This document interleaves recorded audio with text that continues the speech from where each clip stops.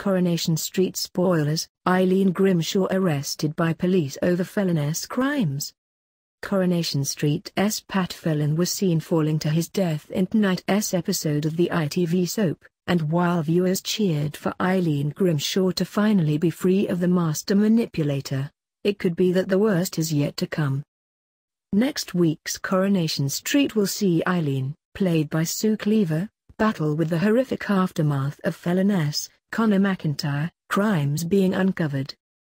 As the police investigate the bodies found on the mill site, they link the cab office worker to the murders on the ITV soap. Spoiler pictures show Eileen being cuffed by officers as Liz McDonald, Beverly Callard, stands by her side trying to comfort her. The mother of two is informed she could be held accountable for assisting an offender. Although, little do the authorities know that she has been absolutely clueless for months. Could Eileen be banged up for Phelan's crimes if she can T-prove her innocence? Actress Sue Cleaver has already hinted that it definitely won't be smooth sailing for Eileen from now on. She stood by this monster all this time and believed him over everyone and now she is going to have to go home and face the music, the soap star said in a behind-the-scenes video.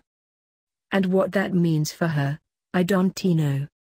I don't know how everybody is going to respond to her and how she is going to move on from this period in her life. It's going to be difficult, I would imagine. Dot.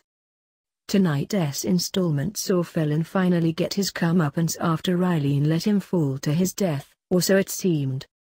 Although it looked as though Phelan is gone for good, that may not actually be the case. Fans Renty convinced that the soap villain is actually dead and took to Twitter to predict he would return in a terrifying twist. One viewer shared, I get the feeling that Pat's body wouldn't he be found at sea and in typical soap style he will return alive, probably while they rescoffing the Christmas turkey hash Corrie hash Christmas special. Dot. Another fan wrote, yes not dead.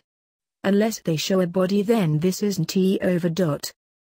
Pat Phelan bet not rock up in three months alive. Hash Corrie a third tweeted.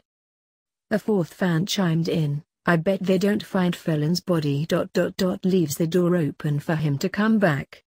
My money is on a Halloween return hash Corrie dot. Sue also went on to joke about the scenes in the video and how much she enjoyed pushing the villain into the freezing water below. Pushing him, Phelan, over the edge. I mean who couldn't he enjoy that really? I mean it s about time somebody did to him didn't he they, she laughed. P.S. Connor McIntyre, very lucky there was a stunt man who went in the water and not him. I think that should have been written into his contract.